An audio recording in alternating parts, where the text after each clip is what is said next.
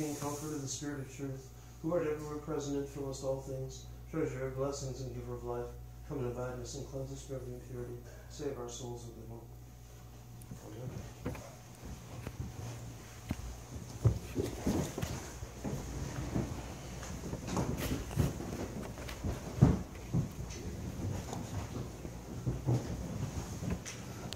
So this is Joel, who just came.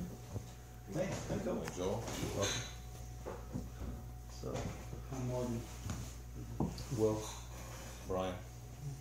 Herman. I'm Frank. Marilyn. you know me. And I'm Joe. I, I know you. And I'm yeah. Joe. That's already already So, so basically, what I wanted to do tonight, and um, quite frankly, I think I a little overestimated my my stamina for the day because it's that's been the main thing that's kind of taking a while to get back. Um, so maybe we won't go much past nine o'clock. Um, just to talk about the 9th and 10th centuries and because there was a lot going on um, uh, at that at that period, and, and and it's I think valuable to to try and integrate it, um, because then that sets that sets it up for the and and maybe go into the 11th century as well.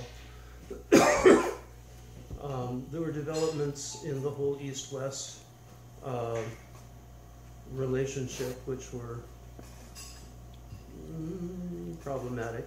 Uh, you have the, the mission of Saints Cyril and Methodius, um, and uh, which was a really uh, important thing. Um, the establishment of uh, uh, Slavic Orthodox, uh, Slavic Christianity, the conversion of the Slavs, um, and that has that had its own um, international implications. And there was other missionary work going on uh, at the same time, uh, both from the Eastern Church and from the Western Church. That's great. Thank you. I couldn't find sources. Oh, thanks.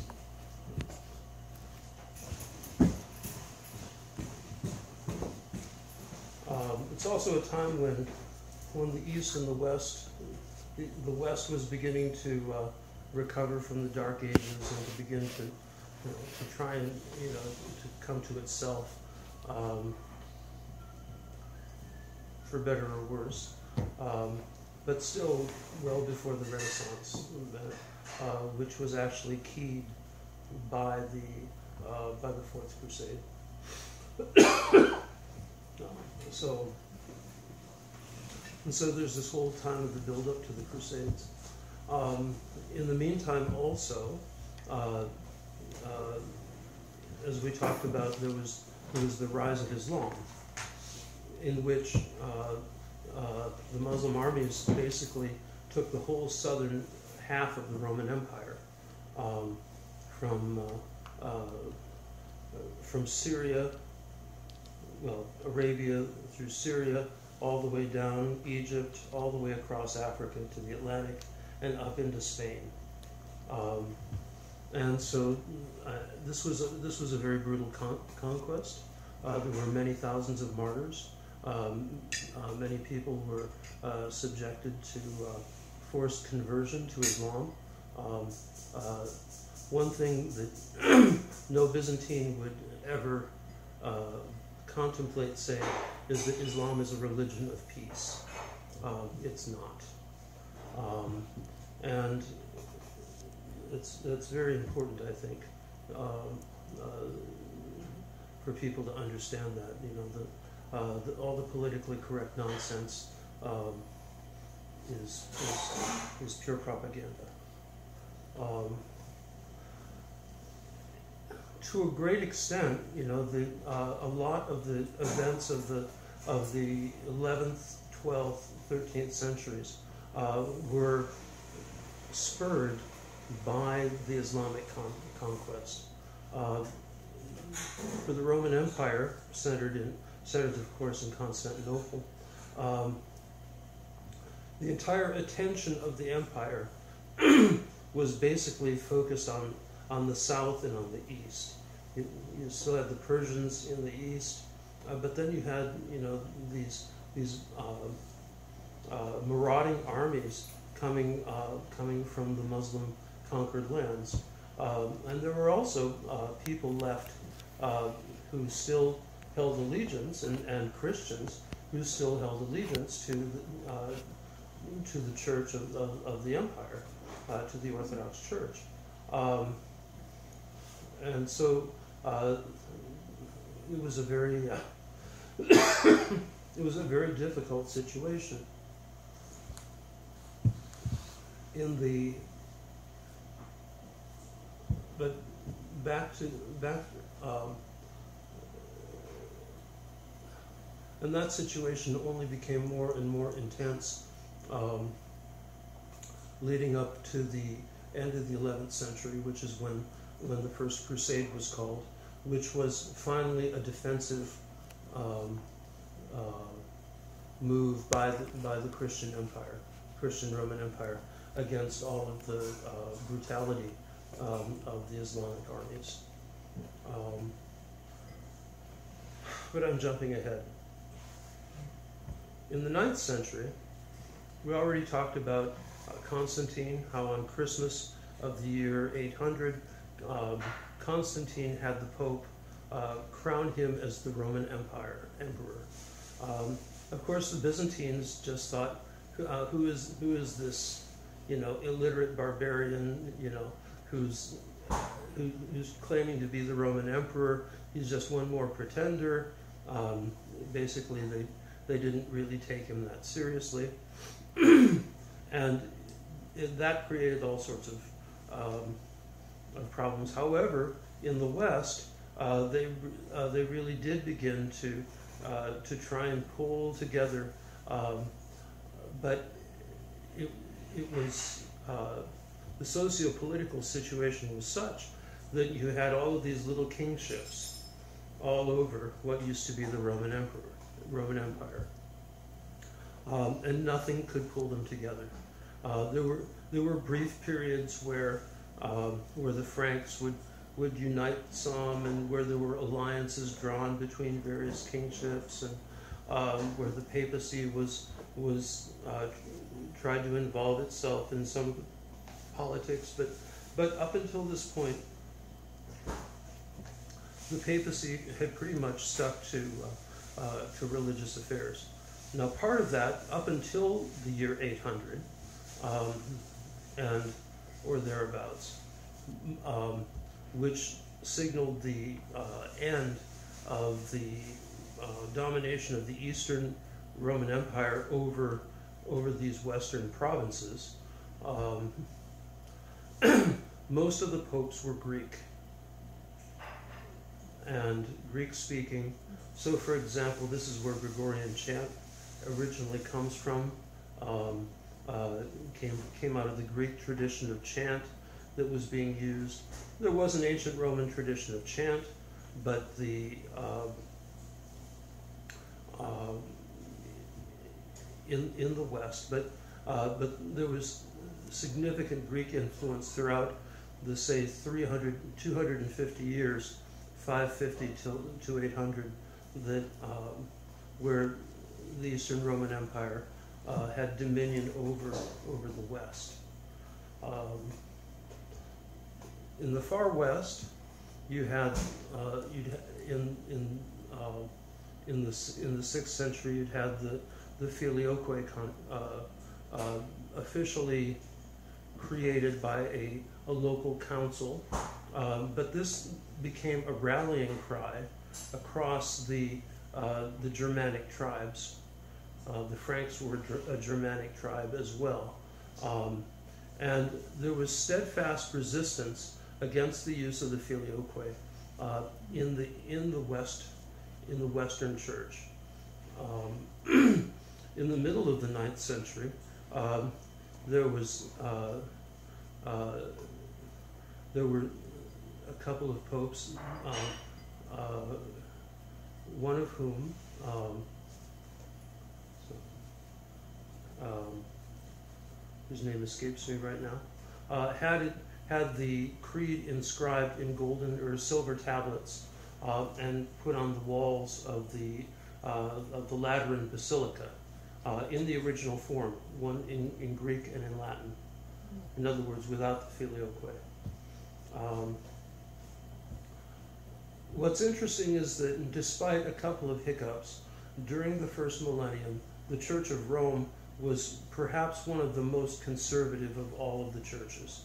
Uh, the Eastern churches, um, you know, engaged all of these heresies and uh, and did battle with them, and you know, some of them were divided by them, and there were uh, uh, controversies going back and forth.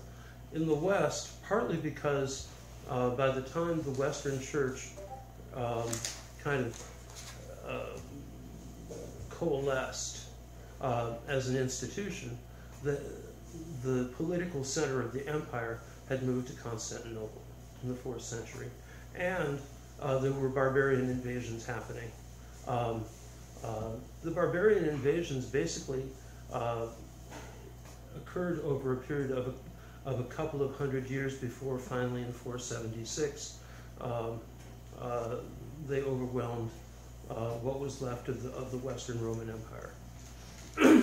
um, Justinian reconquered it in the 6th century, partially, but never quite restored it. And the, and the, uh, the Germanic tribes could never quite figure out um, the niceties of uh, operating Roman society. Even though they tried to blend in and they tried to, to assimilate, it didn't work. Um, and so basically, in uh, starting, you know, basically by the by the sixth century, um, the only major centers of civilization were the were these um, fortified towns and and, and castles um, where the wealthy and their retainers had withdrawn to for protection. Um, and it was social, economic, and political chaos. Um, of course, is in broad strokes. Charlemagne and the, the whole Carolingian um, can't really call it, can kind of call it a dynasty, um, pulled together uh, partly to do battle and to drive back the Islamic, uh, the Islamic armies out of France back across the Pyrenees um, to, with varying degrees of success. Um, Constantinople was way too busy with its own problems to participate in such wars. Um, and so, and especially uh, after after the Pope basically switched his allegiance from being a vassal of the Roman Empire, Roman Emperor in Constantinople, to being a vassal of the so-called Holy Roman Emperor um, in Aachen, um, of the Holy Roman Empire. And the great oxymoron, it wasn't holy, it wasn't Roman, it wasn't an empire. Um, but uh, it was a it was it was one more step in the breakdown of relations. Now, in the middle of the eighth century or 9th century, um, there was a, a whole controversy called the Photian Schism, and uh, a, a patriarch was removed um, by the emperor, and and uh, Photius was put in place by the emperor. Um, this created the schism um, in the middle of the uh, in the of the uh, 860s, um, which was which was eventually resolved in 869. Um, Photius was actually a, quite a remarkable person. Um, he was uh, he was a great humanist. Um, in the he he had massive libraries. He uh, edited uh, he edited books. Had thousands and thousands of books around him, and uh, uh, and was a professor at the university. Um, And, and it's kind of interesting that uh, some of the, um, although universities didn't exist yet in the West, they did, uh, there was a, a university in Constantinople. And one of the things that spurred the emperor to uh, put Photius in um, to the position of patriarch was that he had been his professor in the university.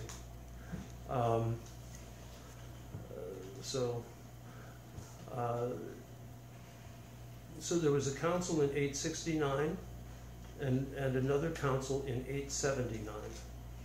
The Orthodox Church uh, counts the 879 council as a possible ecumenical council.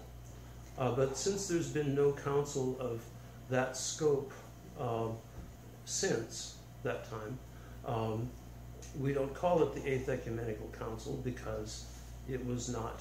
Um, uh, um, it hasn't been declared so by, by the following council. Um, uh, it takes it takes the following council to validate the previous a previous council as ecumenical. Um, so, for example, the Council of 787. You remember the uh, the where iconoclasm was uh, was overcome um, conciliarly. They denied the Council of 754, the Council of Hieria, even though they read the entire minutes of that council into the into the minutes of 787. Um, this also primed the West. Uh, this also had, a, had an effect later in that it primed the West uh, for gr- another great misunderstanding um, ecclesiastically uh, between um, in the reception of the councils because the West nobody in the West really understood Greek very well um, and they thought that the minutes of uh, 754 um, which was iconoclast um, were the minutes of the actual ecumenical council and thus they enacted them as doctrine um, whereas, uh, of course, in the East, it was all clear because it was all in Greek. So, um, so this is this is a good reason to study Greek. You want to make sure that you read the ecumenical councils. Uh,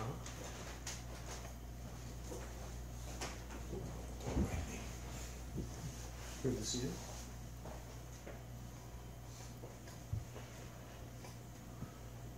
So, um,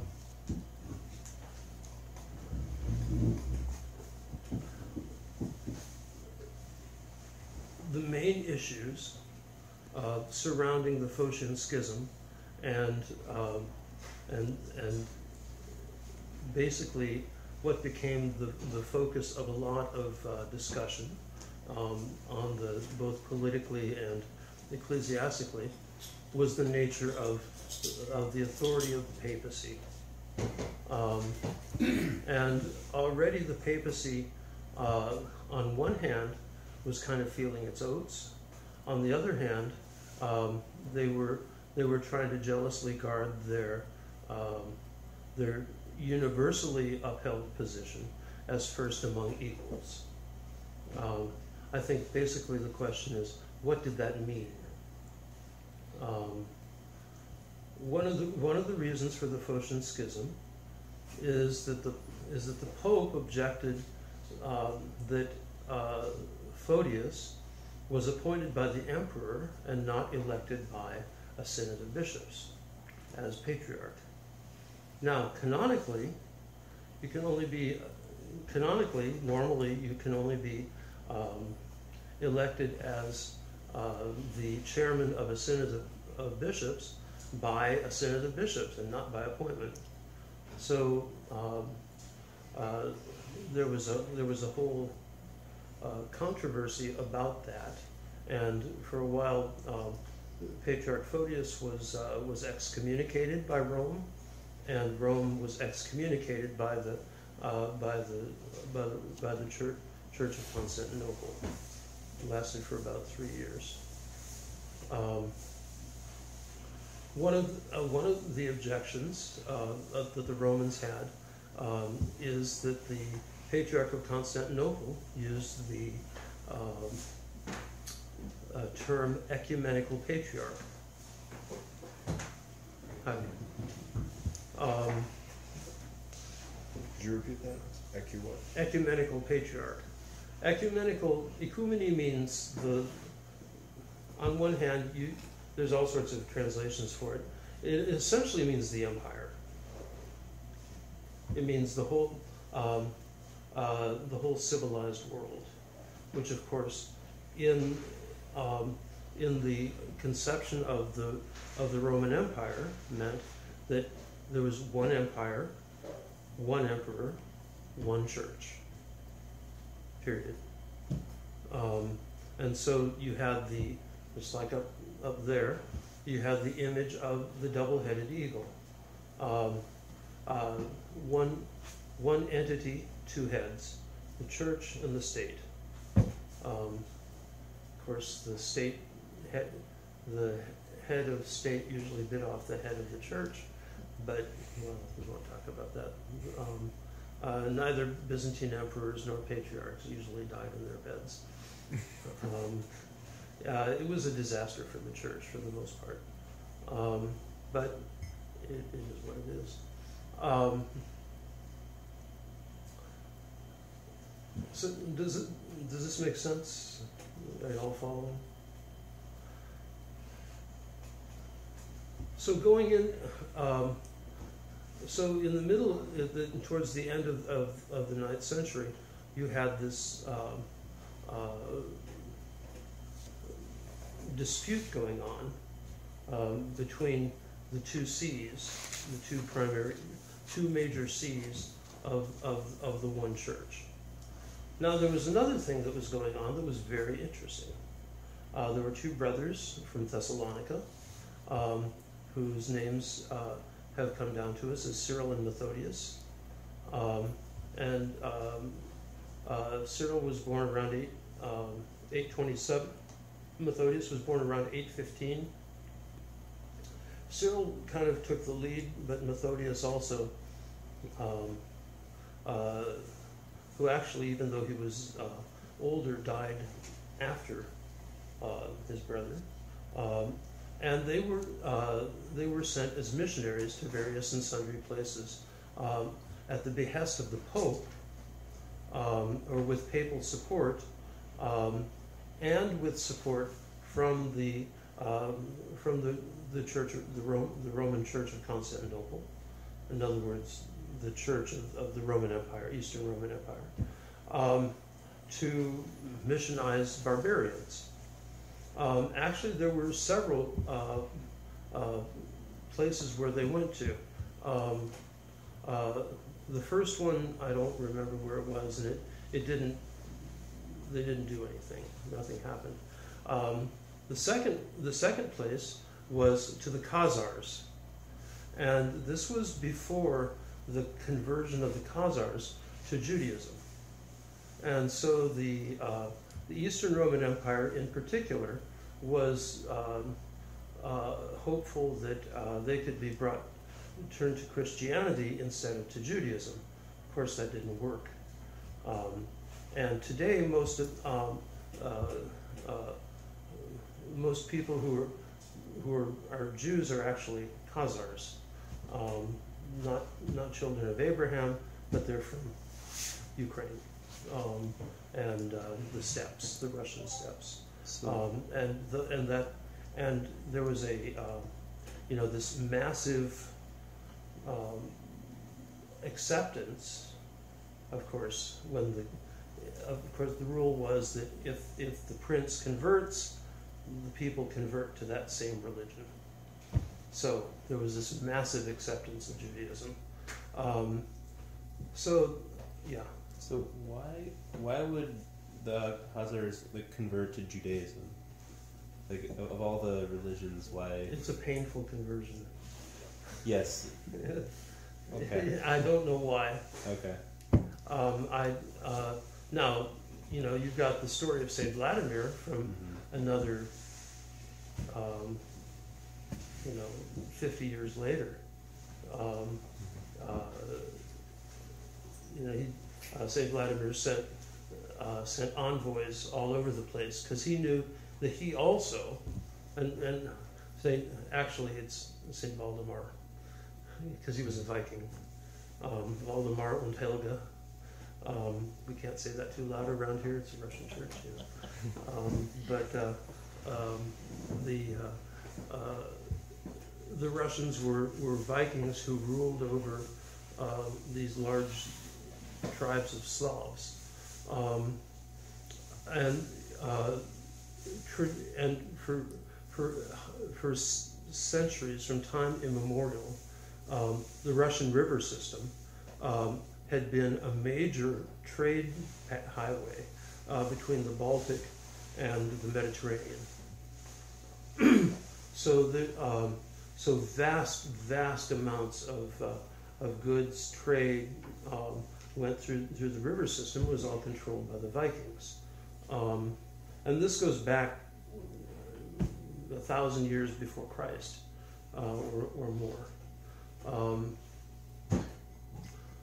uh, so Valdemar or Vladimir uh, sent his uh, envoys uh, out to these various to, to investigate these various religions because he knew that his his people couldn't remain pagan; they had to adopt one of the big world religions. Everybody knows the story, right? Mm-hmm. Yeah. So The alcohol. yeah, um, he, he uh, well, they went to the to the Jews. Well, it was a painful conversion, so that wasn't that wasn't the Russians weren't going to do that.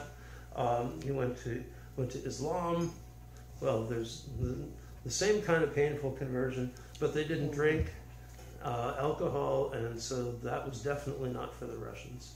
Um, but then there's another theme, um, which was uh, something that we'll we'll go back to, is uh, the uh, you know some of the envoys went to the Western Church and some of them went to the Eastern Church, and there was evidently a quite a great rivalry um, between the Latins and and the Greeks uh, to in in doing missionary work to uh, convert the Slavs. Um, so they um,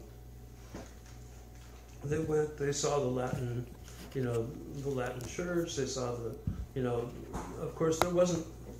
Uh, Rome was there wasn't much to Rome at the time. Um, it was ten thousand people living among the ruins. Um, there was probably more in Aachen and stuff. And, it, and the reality is that it was probably the German bishops who uh, controlled a lot of the uh, the work, missionary work in uh, to the north and east of uh, the German lands. Um, and they came back kind of nonplussed. But then um, his envoys went had gone to Constantinople. Hey, hey, good to see you.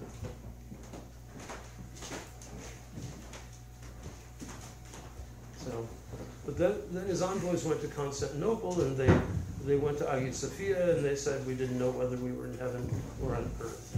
And so they, and so they uh, pursued Orthodox Christianity.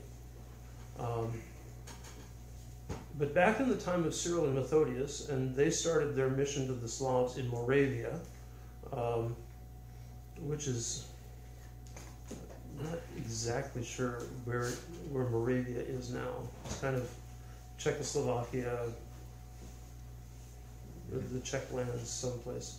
Um, uh, there was this huge contest between the German the German bishops and the missionaries that they were they were supporting, and these Greek brothers, and of course the Germ- the Latins were pushing for everything to be in Latin um, so that there was no need to translate the services, no need to translate the scriptures. You just uh, get the people to submit and um, uh, go, you know, go to the Latin Church and so forth. Whereas these two brothers from Thessaloniki, um, and Thessaloniki at the time um, was a, a city where there there was this great mixing of the Slavic with the Greek pop- population. Um, and so it's, it's not unlikely that uh, Kirill Methodius, or Cyril Methodius, had known the Slavic language uh, from, from the beginning. Um, and so when they were uh, sent by the papacy uh, into Moravia, um, on one hand they were competing with the uh, with the, the German missionaries, the Latin missionaries. On the other hand, uh, they had a major advantage because they were preaching and teaching and serving the serving the liturgy in a language that the people could understand. Um, and they, in fact, of course, uh, are known for coming up with uh, the Cyrillic alphabet. Now, the first Cyrillic alphabet is not what we know as the Cyrillic alphabet. It was called Glagolitic, and it doesn't look like anything that we would recognize. Um, it's very odd looking symbols. Um, but then eventually uh, they uh, switched over to this um, uh, this alphabet, which is which is based on the Greek alphabet with with with some extra characters. In other words, 24 characters in the Greek alphabet, and I think they have an extra 12 or 15 characters in Slavonic. Um, uh, because of the difference in the sounds in the language, that they actually decided instead of implying um, that they would would use a uh, uh, actual letters for. Um, so, but there was all sorts of politics going on. Um, uh, the Archbishop of Salzburg, in particular, was not happy about the presence of these uh, of these two Greek brothers, um, uh, even though they eventually became bishops. Um, and so there was a whole controversy um, in which uh, they were called to Rome, and uh, the Pope decided to uh, uh, simply give them the titles, a more ancient title than the than the Archbishop of Salzburg, um, and and that basically kind of sealed things. But it but it's very interesting to this day. You you can see that there's uh, if you look on a map, there's almost a straight line between Croatia on one side and Serbia on the other side. That's the ancient line dividing the Western Patriarchate from the Eastern. Um, in, in other words, the influence of the Western Church. And so Croats and everybody to the west are Roman Catholic, and um, and Serbs, formerly, which formerly included Bosnians and Herzegovinians and Slovene and so forth, are all Orthodox. It wouldn't be for another couple hundred years, three hundred years, uh, before the entire area was overrun with Islam. Um, so, are there any questions?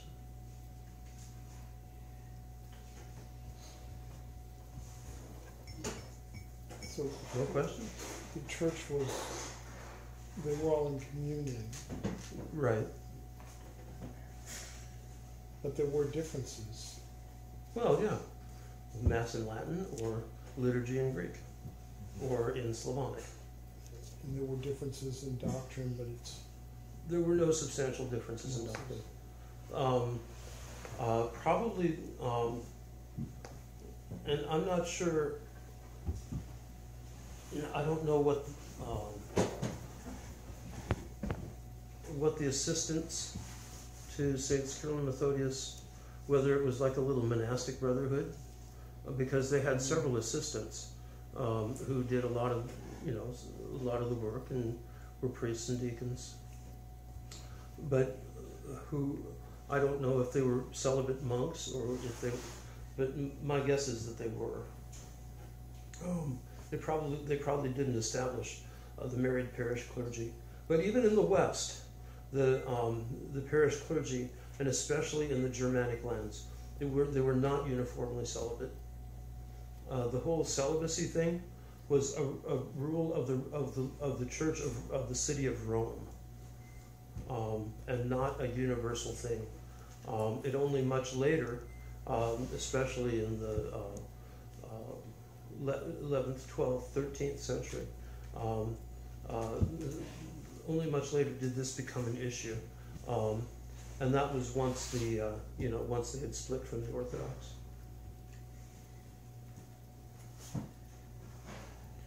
So Cyril and Methodius were doing missions to the Moravians. Is that when Prince Vladimir? How did they? How did they? Did they have anything to do with the Russians? No, um, uh, they basically got chased out of Moravia. Uh, and ended up in Bulgaria.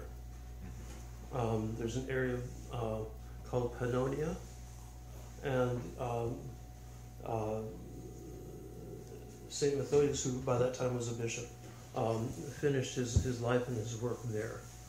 Um, and uh, uh, the Bulgarians. Um, uh, who had a strong king and a strong, a, a kind of a stronger socio-political structure, um, uh, seized on orthodoxy or seized on the Eastern Church, and um, they took the work of, of Cyril and Methodius and really ran with it.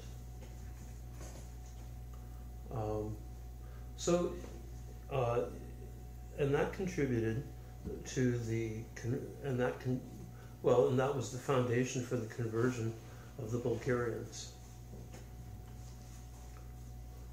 So, uh, which was some somewhere at the end of the um, end of the ninth century. And so when did the conversion of the Russians occur? That was the 10th century, wasn't Yeah, it was it was the mid tenth. Does anybody remember the date? it? 998? 988. 980. Nineteen eighty eight. Yeah. So, so you're talking about eighty, pro- almost ninety years after the Bulgarians. Um, and uh, but Slavonic Orthodoxy was already established, and so and it and it spread out from Moravia and Bulgaria into the rest of the Slavic lands um, in the central Balkans. Mm, I thought the um, uh, basically Vladimir, uh, Vladimir, he uh, took the Orthodox Christianity from Greeks. Mm-hmm. And then at one point uh, there was an actual division when Russian Orthodox Church became separate. That's much later. Much later. Much later. When? Um, in the fifteenth century. Okay. And the reason?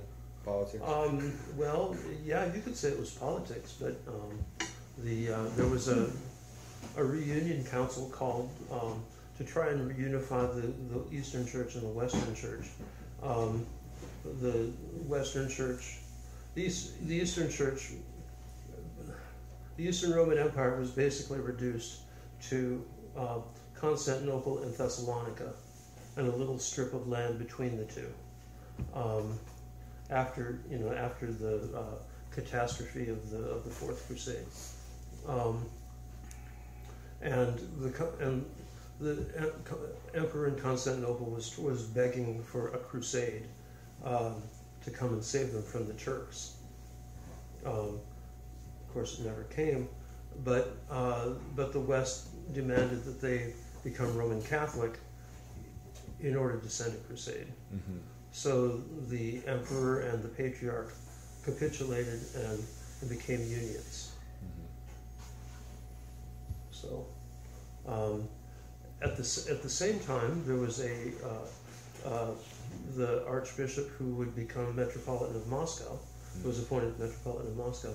Um, what had been at that council, he went back to Moscow, uh, went into the Dormition Cathedral in the Kremlin, and celebrated liturgy. He commemorated the Pope, and they ran him out on a rail.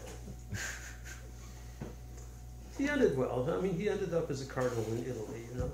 So, um, in the middle of the High Renaissance. So, I mean, it couldn't it could be worse for him, but uh, um, maybe not for his soul. um,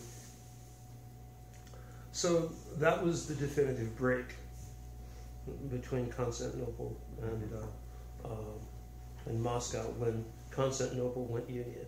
Mm-hmm. Uh, that didn't last very long. Um, but this is this is 1438 through 1453.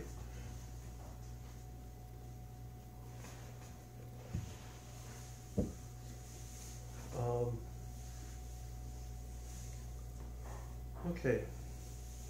Now there's another figure at the at the same period who is very interesting, um, and it's Saint Simeon the New Theologian.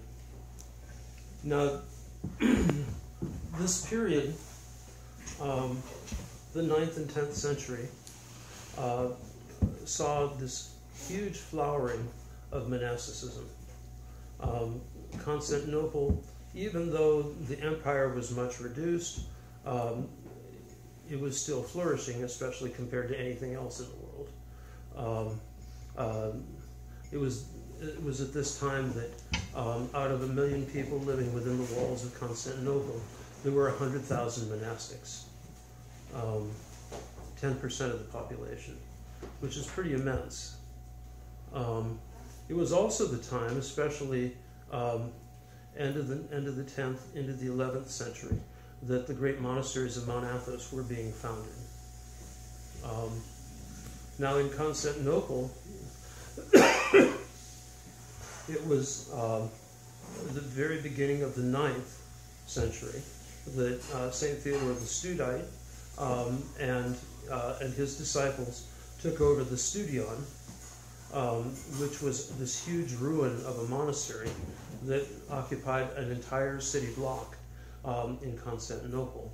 And they completely revived it, um, where it became one of the most powerful centers of, uh, uh, for the liturgical um, development of the Orthodox Church, of the Eastern Church.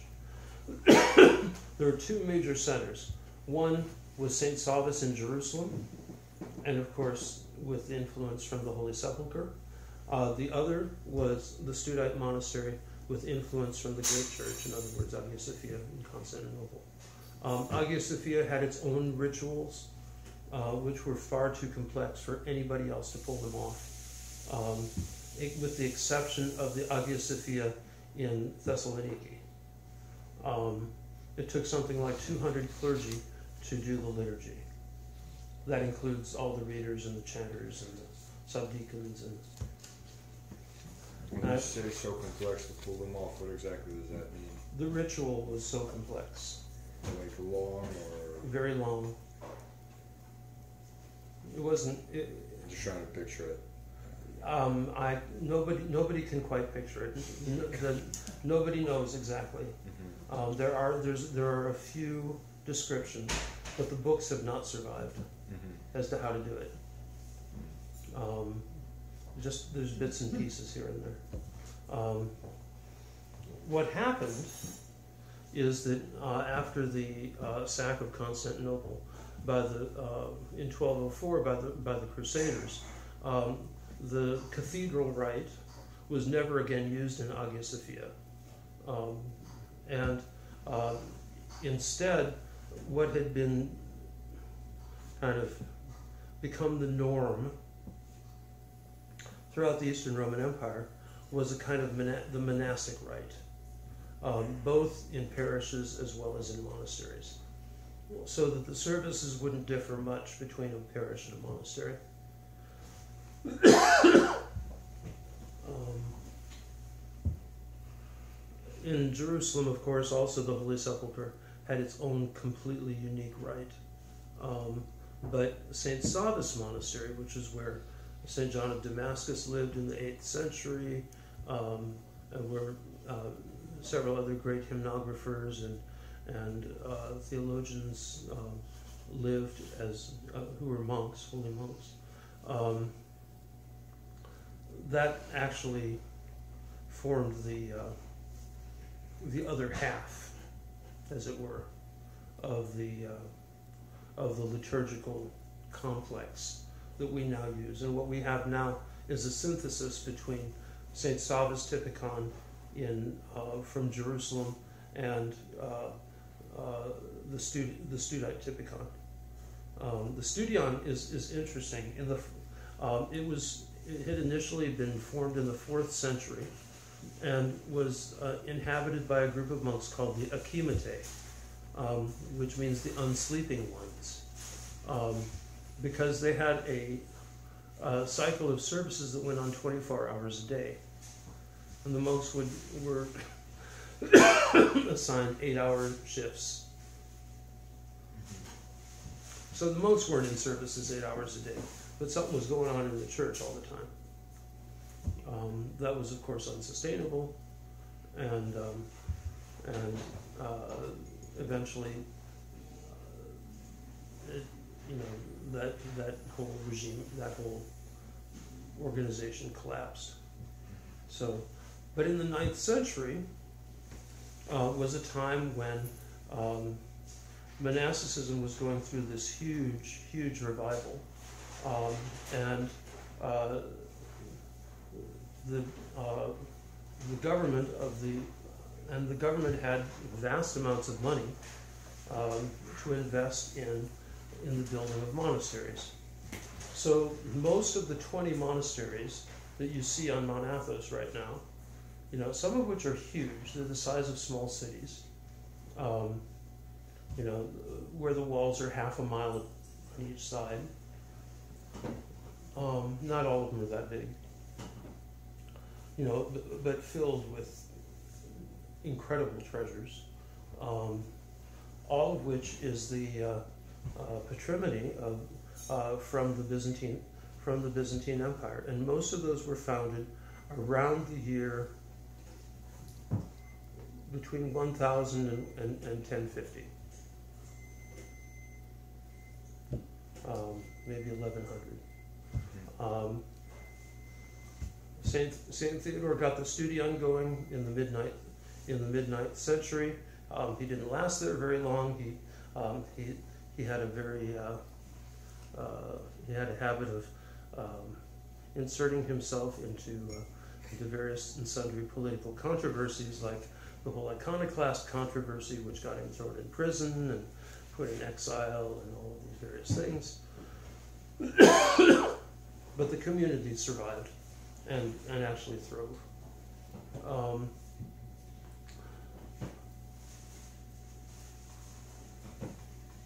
this, um, you know, this created uh, this uh, kind of remarkable um, spiritual dynamic in the Eastern Church. Um, Saint Simeon was a little bit later. Um, he uh, uh, in his, you can read his uh, uh, part of his, his autobiography um, in the Philokalia, um, in the in the fourth volume, um, I believe, in which he describes um, himself as a young man who um, goes and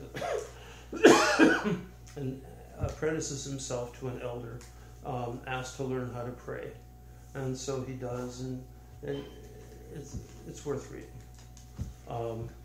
And, uh, and, and eventually he becomes uh, not only the abbot of the monastery, but he became a profound mystic. And uh, not only a mystic, but, but a great writer of mystical writings. Um, and so his, his work is very, very um, uh, profound and beautiful.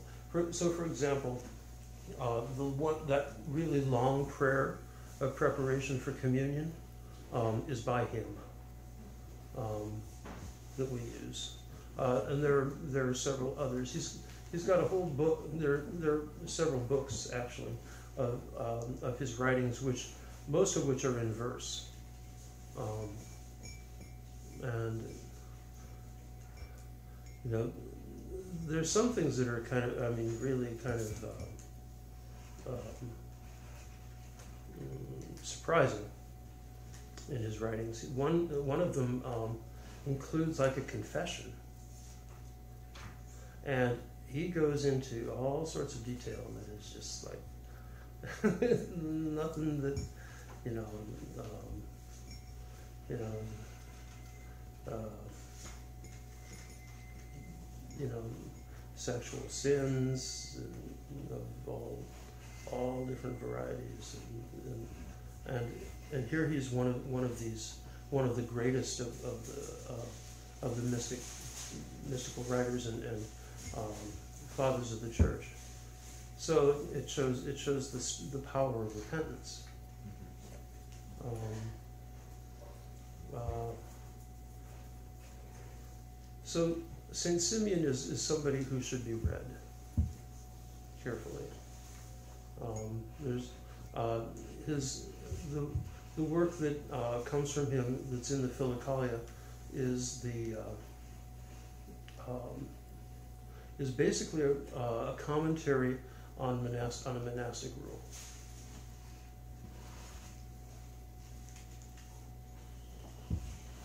Um, some of he's got a couple of other books though that are really um, uh, worth getting a hold of. One is from St. Vladimir's Press. Uh, it's the popular patristic series, you know, the little, and um, and that has uh, some of his some of his prayers. Um, Metropolitan Hilarion Alfeyev wrote his doctoral dissertation on Saint Simeon. So, um, quite a remarkable thing. So, Question: How did he come up with these texts, the prayers? I mean, do they just just imagination, the sincerity? What what is it that? Well, he was moved to write. He was moved Mhm. to write, and so he did. And then the church, you know, selected from his writings um, and kind of entered them into the common tradition. Mm-hmm. I mean, I'm uh, asking like the, the reason were, were his prayers, you know, most answered, or what was special about them that Oh, they, separated them from? they, they express a depth that people can identify with. Mm-hmm. I think more than anything else. And he was, and he was um, certainly remembered as one of the great fathers of the church.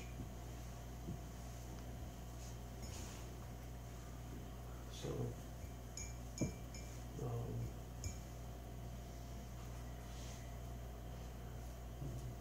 so that's 10th, 11th century. Um,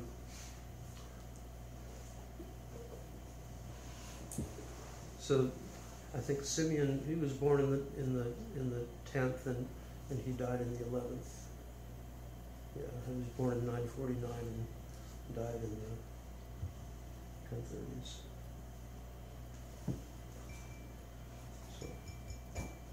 So was this useful tonight? Yeah.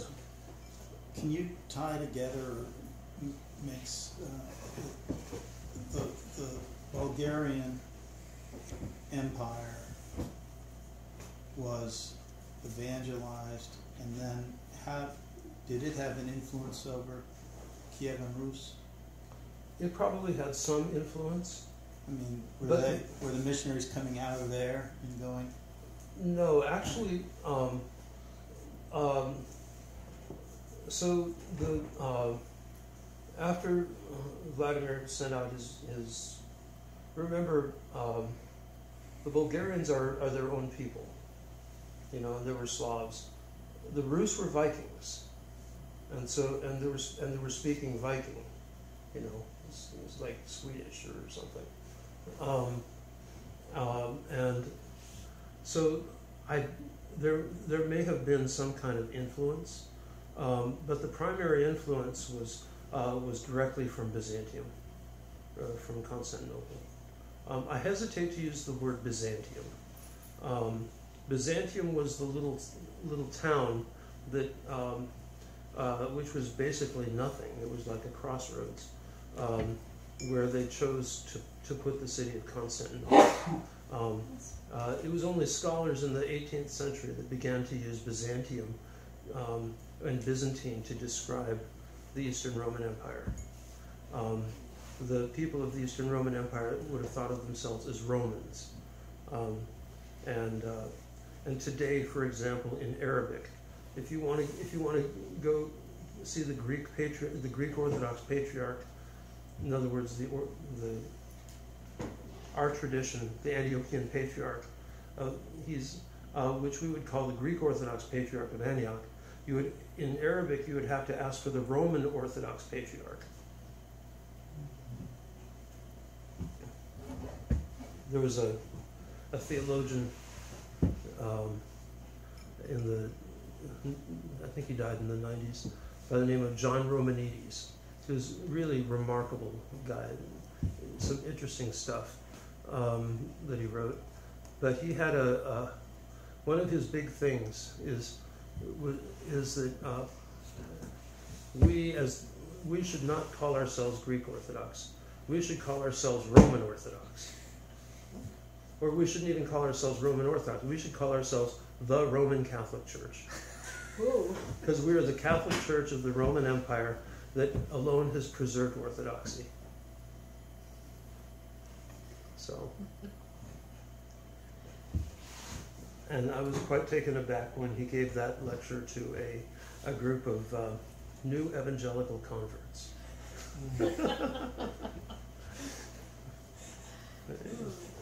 of all the things he could have talked about. So, Curious, you, talked about the Rus and how you know they're German. They're like at least the ruling class was uh, Germanic. What what kind of influence did um, I guess the Roman Orthodox Church have on uh, on- the other Germans?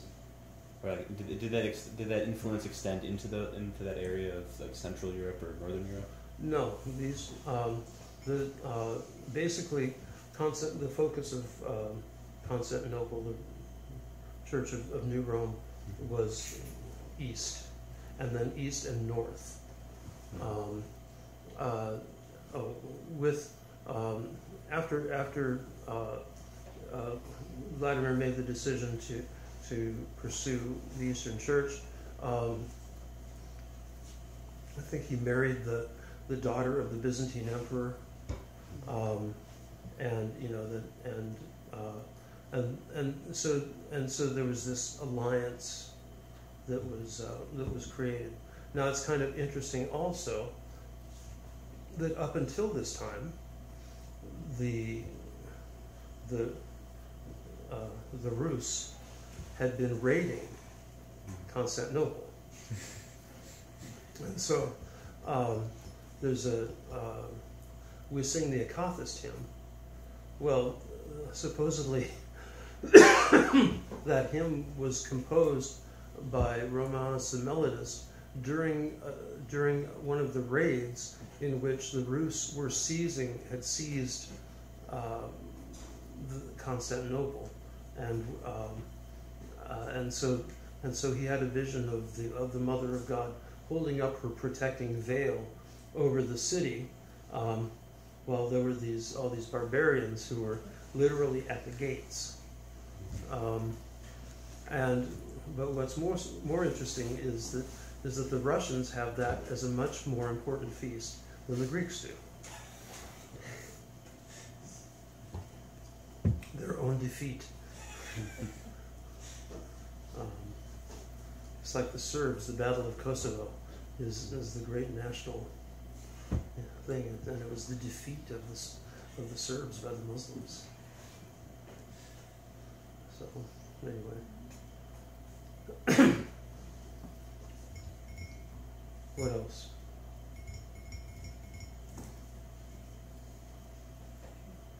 So the schism hadn't hap- happened between East and West, but there were. No, that's that's into the eleventh century. Um, so you have you have you have all these rivalries going on between the east and the west. You have tension. You have um, you, you have these arguments about who who has jurisdiction, who has authority, who has power, who should do the missionary work, what should there, you know all this stuff going on. Um, then you have some probably uh, a few rough and tumble encounters on the ground between the Eastern missionaries and the Western Latin missionaries, and um, but still, I mean, it's it's it's it's one church, but um, but in in very different kinds of um, appearance.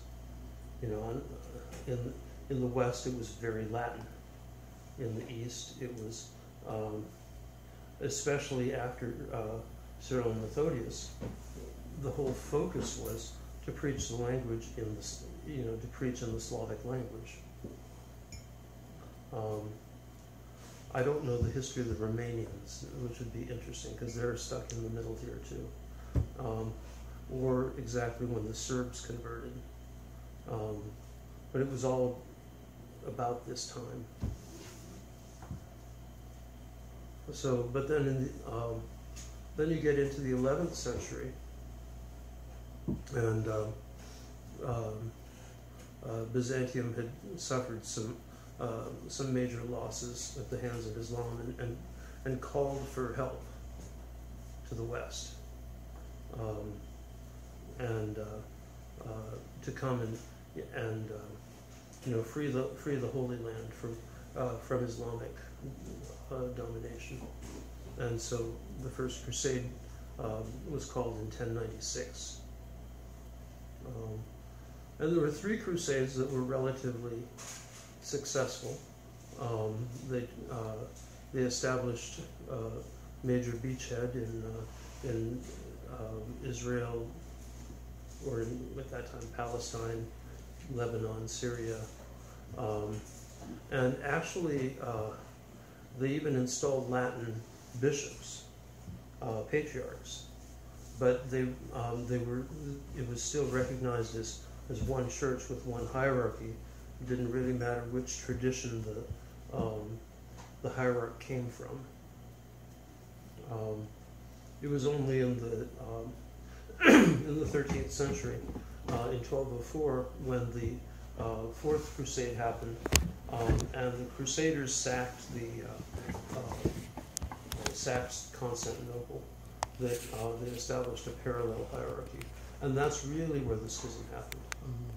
Um, there were also, you know, th- before that there were all sorts of, uh, you know, all these skirmishes and all of, all of these kinds of disagreements, but but never a really hard and fast schism. But it's with that non-recognition of the uh, uh, uh, between the two churches of their hierarchy that came um, the official schism.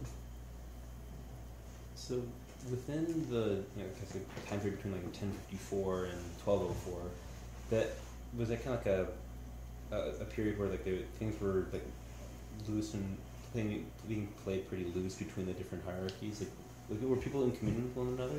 Because Mhm. yeah, there, well, there, there were the bulls of excommunication Mm-hmm. that were mu- mutually issued, but so like they would that still wouldn't Well- really affect the commoners. Well, in 1050, you know, you're talking about 1054. Yeah. Um, you see, that's a big thing in the according to the West, um, but it never got entered into the Byzantine history books, into the, into the records of Constantinople.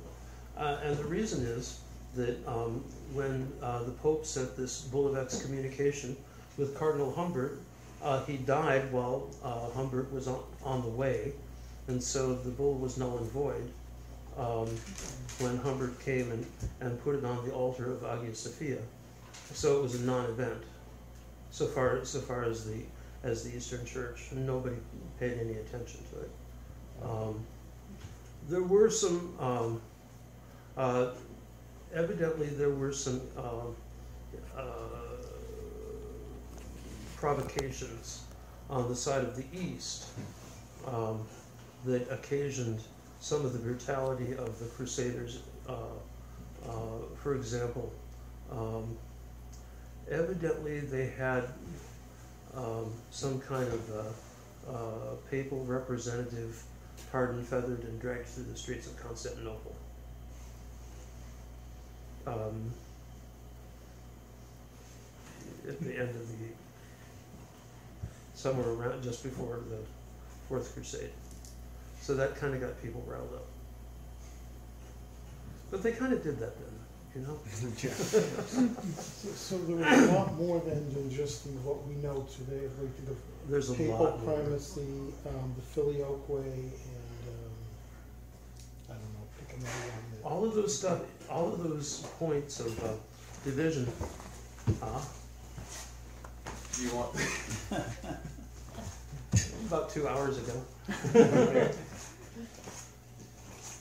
so, um, wasn't as simplistic. There was a lot of history of problems, literally fights. People had real fist fights Probably.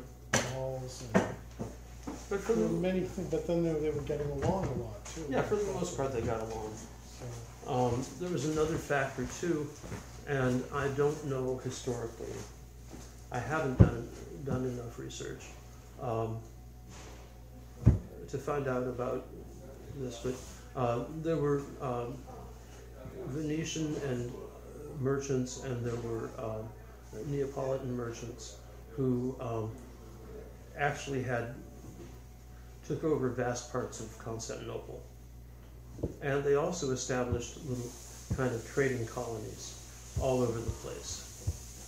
And um, especially as the uh, uh, after the after the sack of Constantinople, um, but I think probably also leading up to it, um, part of the part of the disillusion of the of the Eastern Roman Empire um, was by these uh, uh, Italian trading colonies who established essentially little principalities. Um, so they would take over islands, they would take over towns, they would take over, and uh, you know they would bump out the Greek leadership and put in their own prince, and um, and the people would go to you know they'd still go to church whether it was in Greek or whether it was in Latin.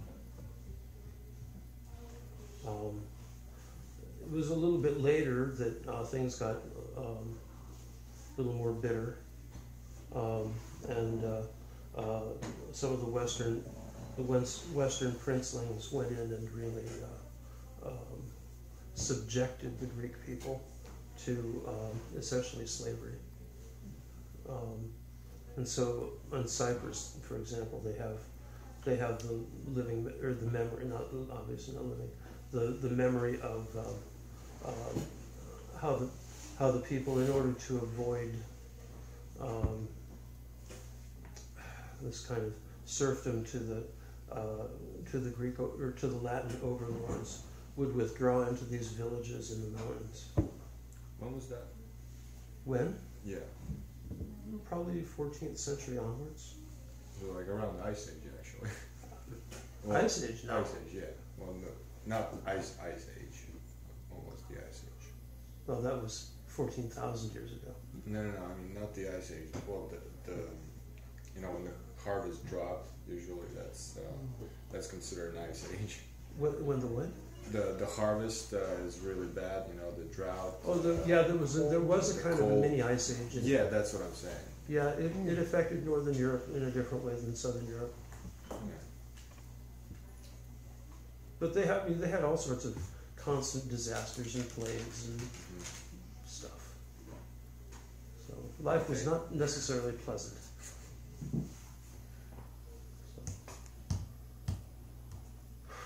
Okay. Anything else?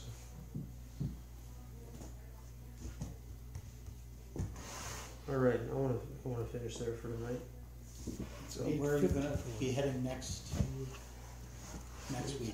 Um, well, we'll head it, we'll talk a little, little bit more about the, uh, um, the Fourth Crusade and the, uh, the destruction of Constantinople. And, um, then there's, um, that happened in twelve oh four, then in twelve sixty-eight, the Greeks regained control of the city, or at least part of it um, and they regained control of uh, Hagia Sophia. Um, but it was it was never the same. Really, the Byzantine Empire ended in, in 1204.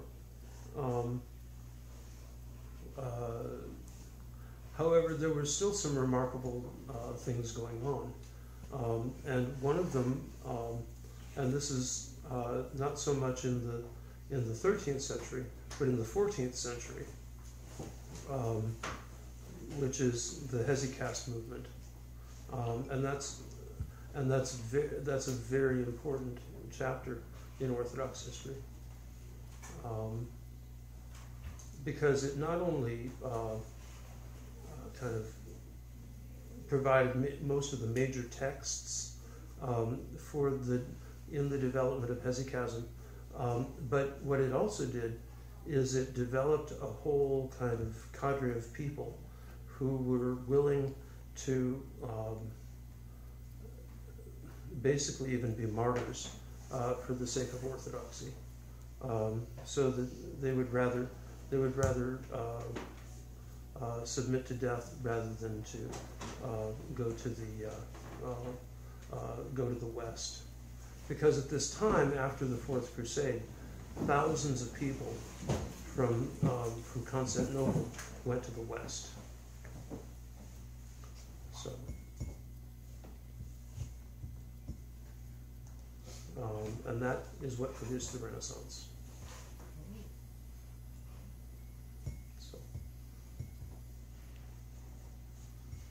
But it's, there's, there's interesting history there. Um, if you want to read some background stuff, uh, um, um, there's a uh, on the fall of Constantinople. There's the Great Church in Captivity by Runciman. Um, that deals not so much with the Fourth Crusade as it does with uh, 1453 and the, and the Islamic, the Turkish conquest. Um, but then there's uh, uh, the great fathers of the of the Hesychast revival, or of the Hesychast movement, are uh, Gregory of Sinai and Gregory Palamas. Um, so. Did that did those, did that movement come out of existing sort of monastic Yeah. life in the east? Yeah. Yeah. Will you it- explain that next week or Yeah. You know,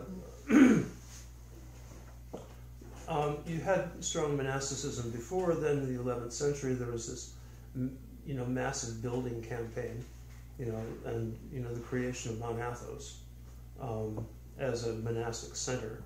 Um, and uh, within, so 300 years later, um, Mount Athos becomes the very center of this whole hesychast revival.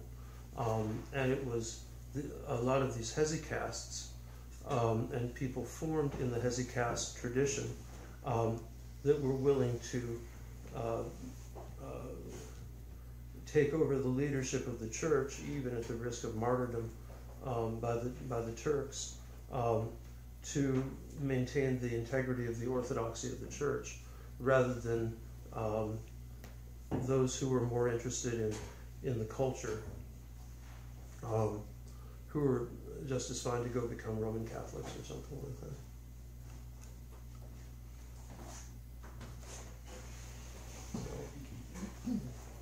No, I'm just here. I was just here. All right, for just ending.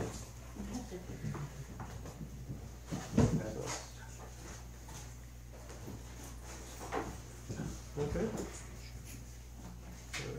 Let's pray.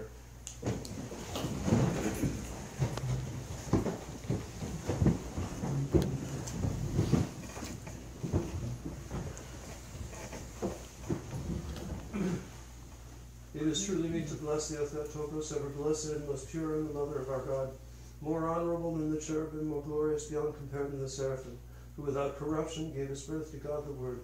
True Theotokos, we magnify thee. The blessing of the Lord be upon you through his grace and love for mankind, always now and ever and into ages of ages. Amen. Amen.